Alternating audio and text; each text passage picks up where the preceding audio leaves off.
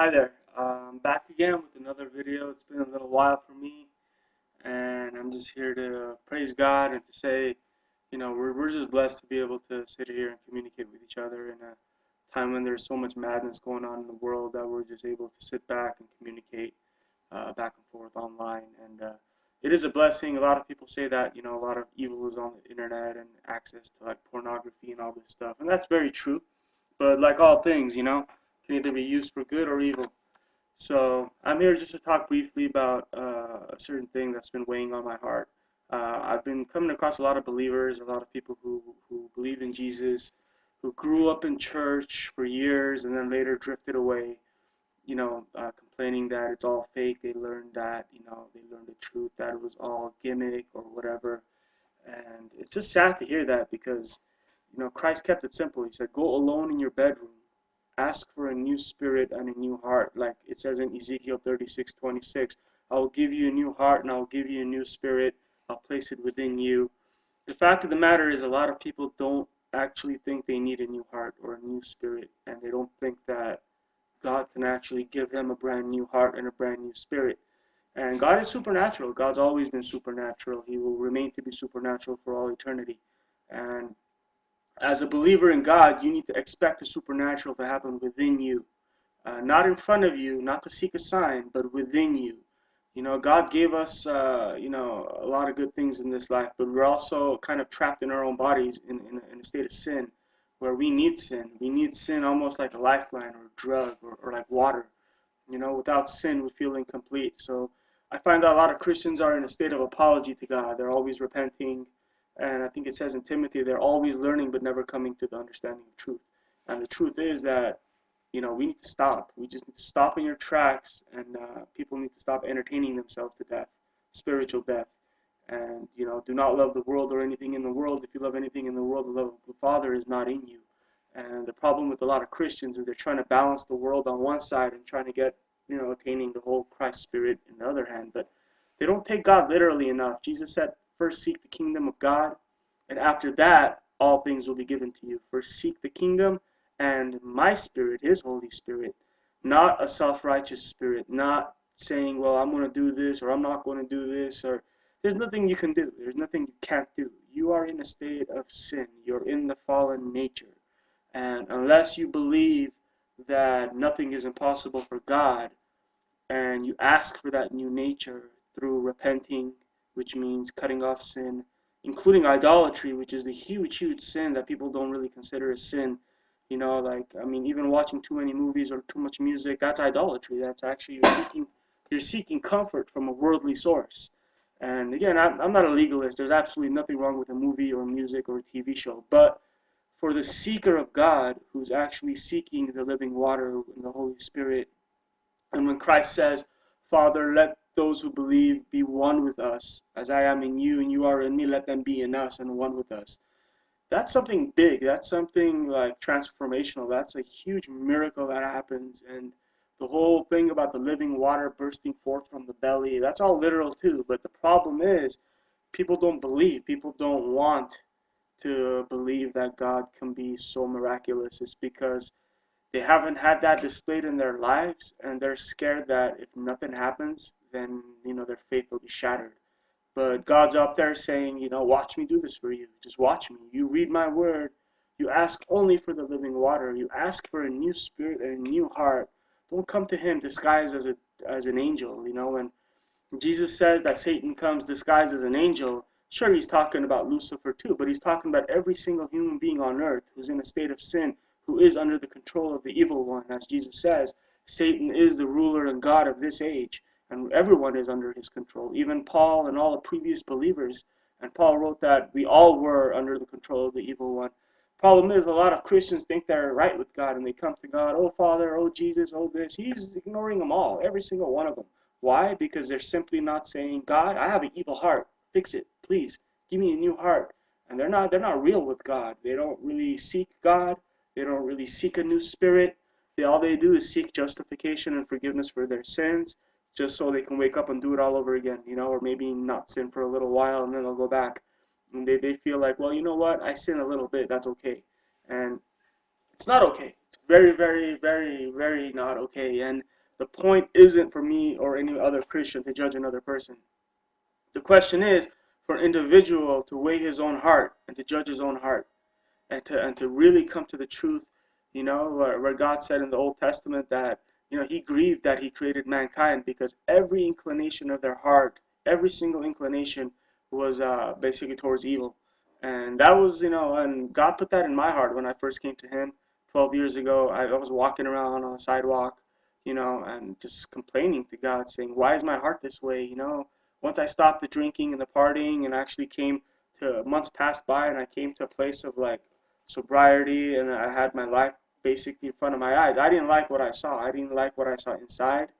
Uh, you know, I either needed money or I needed this or I needed that. I needed something to make my life uh, validated. You know, like without uh, a certain amount of money or without a certain person in my life, my life felt like it was, you know, kind of worthless. And and I always needed, and I always wondered, you know, why can't I just be and be happy, you know? And and that was the point where I got. I was like, you know, complaining and actually kind of forcefully asking God, you know, if, if you're a real God, then you will give me a new heart and you will give me a new spirit. I feel like I'm a prisoner trapped in my own body as a jail, you know, and uh, I wanted release, you know, I, I wanted release. I figured, you know what, I, I, I'm reading this word and it says a lot of supernatural things, you know, it says, I'll come inside of you and, and, and have dinner with you and you with me, and I will, in John 14, 20, I will reveal myself to you and I will give you, uh, you know, my spirit, and I will be one with you. This is not symbolic and nor metaphorical. I took it literally because you know what? It's written that way, and and if Jesus said it, then it's either true or he's not true. None of it is real. So I went towards God with that kind of mentality, like, okay, God, you know, this is what it says. This is what I want, you know, and and I just started shutting off my TV, radio, all that stuff, and you know, three and a half weeks later, I was still reading and asking and, and kind of like shouting up above. I know I was asking at first, and then it kind of was like fierce, kind of like shouting for it. But God came through, man. God came through hardcore, and uh, God came through in a way where most people have a, have trouble believing me. But that's not my place. It's not my place to try to convince you. That's the job of the Holy Spirit to touch your heart right now, and for you to reach out inside and say, God, is is, is what this guy is saying true? Like, is it literal that you literally overshadow a person and clothe them with power from on high? Like Jesus told the apostles, wait in Jerusalem until you're clothed with power from on high. And you know they didn't know what to do when he left, when he resurrected, and they were like, "Well, what do you want us to do?" And he's like, "Wait. You wait until you're clothed with power from on high, and uh, and on that day you will know that you are in me, I am in you, and you know that we are one with the Father through the cross." And that's the point. The point is, heaven is within us. And because Jesus is in heaven, once you receive his spirit, you will feel the joy of heaven inside. You will have anguish, you will have tribulation, but that joy will never go away. You know, you might have trouble in your heart, you might have problems, but that joy is forever. And even through your problems, you know, there's a difference between happiness and joy. You know, joy of the Lord is forever and it never fades. You know, yeah, his discipline comes, his chastening comes, and then your happiness might not be there, but your joy will always be there. And when the Lord first um, came to me, like, you know, with, with the power that he did, he followed up with a lot of dreams and a lot of awake visions. And just at the beginning, like the first six months, I had like a series and, and, you know, he made it a point. I did fast after I got the spirit, but he made it a point not to give me any visions when I fasted. It was always like weeks after or a month after, or I would fast and not really for any reason. I would just fast and just say, Lord, you know, make your will, Lord, uh, make your will known to me. I want to know the your will for my life. And, you know, I would ask him specific questions about my life, like, where do you want me to be? You know, what, what do you want me to do? And sometimes I get answers, sometimes I wouldn't. But the, the fact of the matter is, he eventually answered all my questions. You know, every single thing I ever asked for, he showed me, literally showed me. And uh, it's not about being shown signs, though. Jesus said the only sign that will be given to you is the sign of Jonah. And uh, says only an evil generation seeks after a sign. You know, the word Jonah means a dove in Hebrew, which is Holy Spirit. And the sign of Jonah was that he was in the belly of the beast for about three days and three nights, just like Jesus was. And when he came out of the uh, earth, Jesus said, Now I can give you the comforter. And that's originally, he said, I have to die to Peter. Because Peter said, No, Lord, you shouldn't die. And then, you know, Jesus looked at Peter and said, Get behind me, Satan Because at that time, Peter was still on, on Satan's wavelength of thought. He was still trapped under the sinful nature. And Jesus was not, you know, able to give the gift of uh, the Holy Spirit, the true Holy Spirit, the true Comforter, the whole living water bursting forth from within, making you one with God. I mean, that's real, man. That's so real that, that it actually scares a lot of so-called believers, and they run away from that truth. They're content with the Christ they've created in their own mind, and they don't have the real Holy Spirit. They don't have I mean, they very might, might well be led by the Spirit, but as far as being fully filled and fully blessed and fully engulfed in the Spirit of God, where you're one with Him and you just feel His presence all the time, and that power grows like a mustard tree and becomes larger and larger as the years go by, I have found very, very few Christians, far and in between, that have uh, agreed with that testimony and who agree and have a testimony similar to that of the one Jesus Christ gave to me.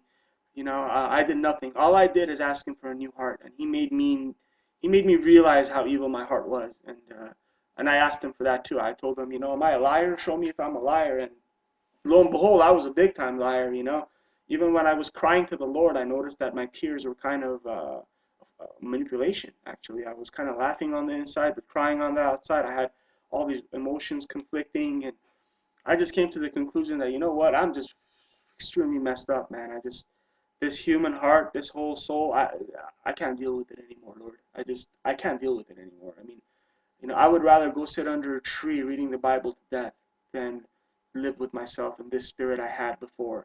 And I told him that too. I told him I'm going to read the word and I'm going to read it a few times and if nothing happens, I'm going to go sit under a tree and I'm going to keep reading until I go. Because if you're not real and none of this happens, then I don't want to be here anymore. Now, I'm not asking anyone or telling anyone you have to do this. And I've had I've basically messaged before I posted a single video, I've messaged at least 100,000 people so far in the last year, year and a half with my testimony. And I've had kids, adults, women, guys, all of them who are asking for only the living water, asking only for heaven to be revealed to and within them, for a new heart and a new spirit to be one with God. And just that, keep it simple. Do not ask for anything else, he said. Seek first the kingdom of God. First seek my spirit, my righteousness, and, and, and the kingdom and all else will be given to you because God knows what you want before you ask Him. So, you know, I just played it out like that. Hey, God, give me a new spirit. Give me, you know, give me heaven within, whatever that means, you know. And I, I basically, like, go to bed, like, sometimes in anguish because I had no pleasure. I cut off TV, media, music, everything, man. I just, I figured, you know what, if I'm going to do this, I'm going to do this right. And I'm going to do this, you know, so there's no problems on my end where, you know, I'm still involved with the world or sin or pleasure or idolatry you know. But you know, it, all comes down to this. You know, I've had uh, hundreds of people write me back saying, you know what, they're starting to ask for the living water and reading the word with diligence, and that's very important to read it with diligence. That means like more than a page a day. Like you crack through the Bible, you crack through that New Testament as if your new spirit basically uh, is, is contingent on you reading and diligently and, and not sinning and waiting. Waiting for what? Waiting for power from on high to overshadow you, waiting for God to merge you with Christ and to literally give you the spirit of Jesus Christ inside of you where you know where he comes in and the old you gets pushed out man. And power fills you love fills you a whole lot of discipline comes and a whole lot of chastening comes. And it's not you know it's not always pretty but it's always powerful and it's always loving always caring and it's always real. And Jesus Christ is meant to be revealed to a person. That's why it's the revelation of Jesus God wants to show his power like he did back in the days. He raised the Red Sea. Through Moses, he did many miracles in front of the Israelites.